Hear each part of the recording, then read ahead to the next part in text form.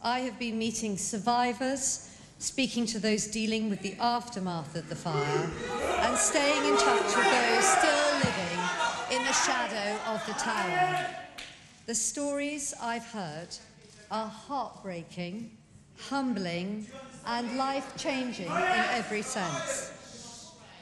Families have been torn apart, their loved ones lost forever, and their communities broken up. And the, vict-